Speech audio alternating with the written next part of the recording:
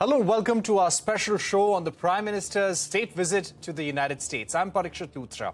Prime Minister Modi's landmark state visit to the US has raised expectations on multiple deliverables, with defense collaboration really standing out. First up, India is set to buy Predator drones developed by General Atomics in a government to government deal with the United States. General Electric will manufacture fighter jets fighter jet engine technology in India in collaboration with Hindustan Aeronautics. Both nations are also expected to increase collaboration in the field of artificial intelligence, 5G, 6G, Open RAN, quantum computing, and much more. Let's also not forget semiconductors. There's a big deal on semiconductors that will be announced during this visit with Micron uh, looking at an investment of $2.7 billion. Joining me now to take the discussion forward. Also, to talk about the implications of Prime Minister's visit, especially for the defense sector, is Baba Kalyani, Chairman and Managing Director of Bharat Forge, also a member of the India US CEO Forum. Uh, Mr. Kalyani, thank you very much for joining us. Let me uh, begin by asking you about the opportunity that you see when it comes to the Indian defense industry. Do you think this visit really will usher in a new era, a new market a new supply chain for the Indian defense industry and an opportunity to closely align with the US? You know, I think uh, this historic visit of our Honorable Prime Minister to the United States, uh, uh, the state visit uh, by the invitation of President Biden, and the pre discussions that were held in India during the CEO forum in March, during uh, the iCET meeting that happened uh, just a few weeks ago. Uh, I think this has completely opened up a new orbit uh, for India, Indian business, Indian industry uh, with the United States. It's, it's, it's an amazingly different landmark that we are going to achieve uh, with what is going to be discussed from whatever I read in the newspaper and media. On the defense uh, side, uh, the two examples that you stated, the manufacturing of GE's 414 jet engines for our fighter jets by HAL, and of course the, the drone, uh, the high altitude, uh, long endurance drones uh, uh, manufactured by General Atomics uh, to be made in India. That itself will open up huge new technology areas which were kind of close to India for a long period of time. And I think this will uh, with the whole Atmanirbhar process that uh, Honorable Prime Minister has unleashed in India uh, will create fantastic opportunities for India's industry. Right. Uh, just to speak uh, specifically about the jet engine technology transfer, we're learning that uh, we could be looking at 80% technology transfer by value from GE to HAL over a three year period give us a sense of how the Indian defense industry, the Indian uh, ecosystem will benefit from a deal of this kind. Will Bharat Forge also stand to benefit as a supplier to, of uh, components to uh, the GHL deal?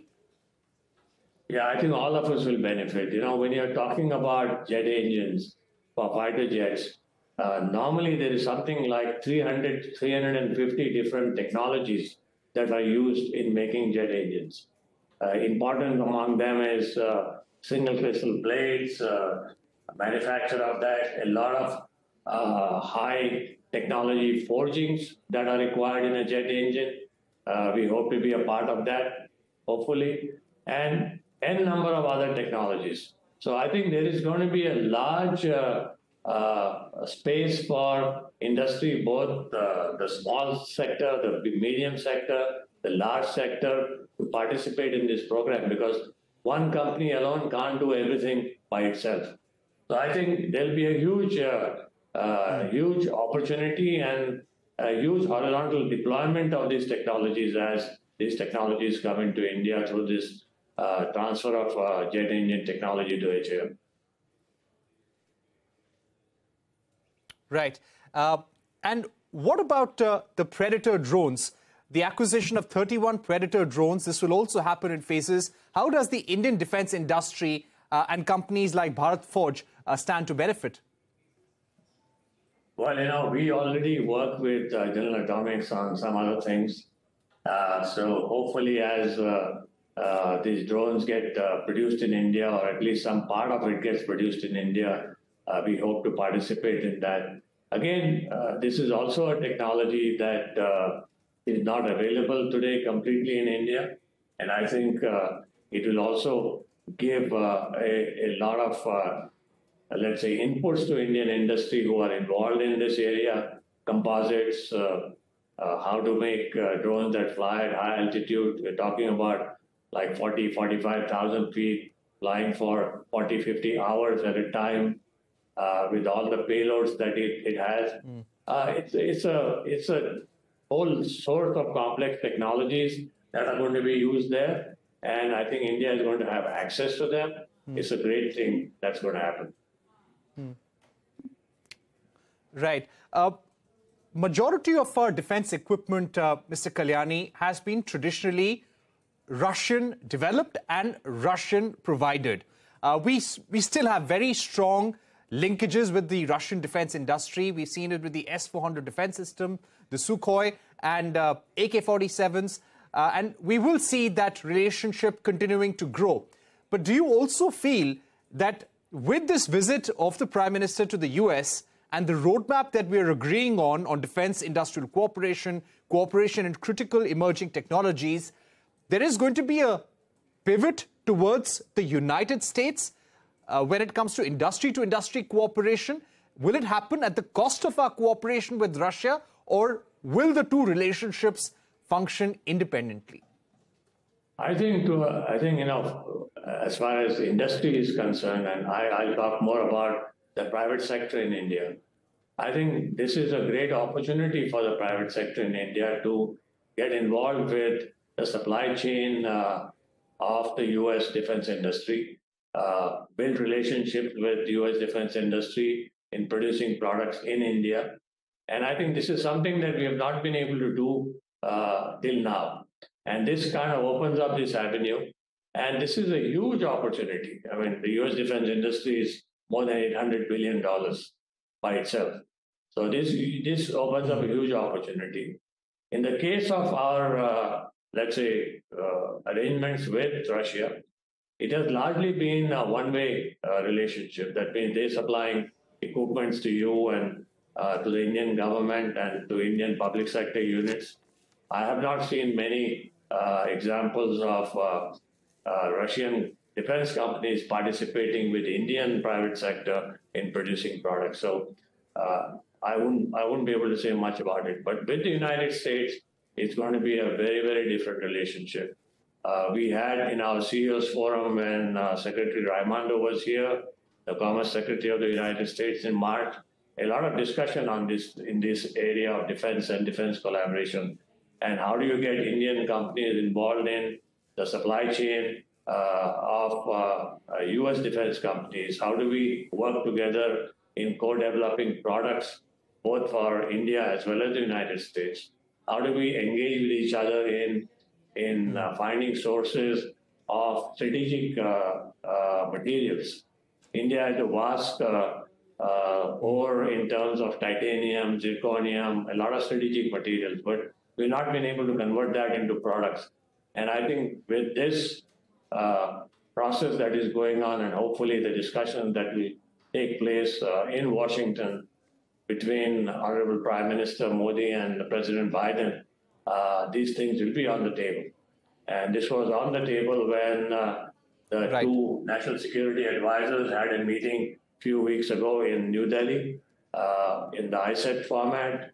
Uh, we had attended this meeting, and a lot of discussions took place in this area. So I see, I, I'm, I'm very, very optimistic that we will see some good results coming out of these discussions. Right. I would also like to ask you, uh, because the Indian ambassador to US, Taranjit Sandhu, said that with this meeting, India is and the Indian defense industry is going to get integrated into the global defense manufacturing supply chain. Absolutely. I would like to ask you, because of the takeaways, because of the takeaways from this visit, are you looking at collaborations in certain defense sectors with US companies, uh, Mr. Kalyani? And how much are you likely to invest in scaling up your defense production and maybe investing in new avenues uh, of technology in the defense sector? Right, we are already investing in the defense sector in certain areas, uh, uh, like artillery guns, small arms, uh, in drones, uh, in UAVs. But I think uh, this whole uh, supply chain relationship that Indian industry can build with the US defense industry opens up a lot of new opportunities in areas like electronics, in areas like component manufacturing, in areas like subsystem manufacturing. And uh, yeah, we are working with some companies in the US in this area. I don't want to name the companies because uh, it's not right. But yeah, this is going to increase the opportunities for companies like us who are already engaged in this. Secondly, the government of India and Honorable Prime Minister uh, himself has put a target for, for Indian defense industry for exports. Uh, that first target is to achieve $5 billion of exports by 2025. So I think all this kind of gels together in terms of what's going on. Right. Uh, Mr. Kalyani, I would also like to ask you, as a member of the Indo-US CEOs Forum, uh, has there been any kind of recommendation in terms of removing the regulatory hurdles when it comes to the ambition for uh, the partnership between the two countries? Do you think we still need to scale up the ambition? Uh, do you miss uh, not having an FTA? Uh, and do you miss the fact that the FTA is no longer on the table? Well, you know, it'll be a great thing if you have an FTA, sure. And I think work is going on in that area. There, I know there have been discussions between our uh, Commerce Minister and the US Secretary of Commerce. Uh, we had some discussions in March during her visit here. But uh, there are other regulations that uh, uh, we have given in terms of recommendations for removal. That is, uh, you know, India is currently not part of the key US agreements, that is, security of supply arrangements, defense federal acquisition regulation supply, supplement. And that would be helpful if India becomes part of this and you know, these regulatory hurdles are removed because then Indian industry would have uh, free access to work with the U.S. defense industry as part of their supply chain. So I think these are, these are some of the important things that need to be done. Right. Uh, and as far as the trade partnership go, any market access issues that you uh, see with the United States, uh, Mr. Kalyani? No, I think, you know, uh, in the US, market access has not been an issue. I mean, all of us, uh, we have great relationships with companies in the United States. We export a lot of products. Uh, India gets a lot of products from the US into India. And I think we are, we are beginning to see much, let's say, bigger ambition in terms of what we want to achieve in terms of trade. Clearly, there is an ambition to increase uh, the trade between the US and India. And, uh, uh, you know, the whole Indo-Pacific Economic Framework Agreement, which India is committed to, is going to help in uh, making all these things happen. Right. Uh, anything we should watch out for in IPEF, sir? Any concern that you have on IPEF, especially on the trade pillar? No, I don't have any concerns. I think, uh, you know, there is a recognition in, in the world, and especially in the United States, uh, about uh, India's importance in this uh, uh geopolitical uh, world that we live in with all the problems that we have in so many places. And I think uh, the Honorable Prime Minister has been able to build an amazing relationship in the United States with their leadership. it's been work that's been going on for the last uh, two, three years. And I think what you are seeing now is a culmination of all the efforts that have been put in, uh, right from the National Security Advisor, our Foreign Minister, our Commerce Minister, uh, uh from the business side, between India and US CEO forums. And, uh, you know, we are all talking the same language after a long time. You know, everybody's saying we need to have resilient supply chains, and India needs to be part of this for resilient supply chains, whether it's defense, whether it's other areas. So I think I think this is, there is a great recognition for India as a country, and I think we have to give credit to the Honorable Prime Minister that he has really raised India's position on the on the world table. Okay. We've uh, run out of time, but thank you so much uh, for joining us, uh, Mr. Kalyani, giving us your sense of uh, what this visit will mean for Indo defense ties, industry to industry ties in the defense sector going forward. Thanks once again for being with us here on CNBC. We're heading into a short break. Don't go anywhere. Prime Minister Modi meets top CEOs, academicians, thought leaders on day one of his first visit to America. Details when we are back. Also on the big semiconductor deal. Don't go anywhere.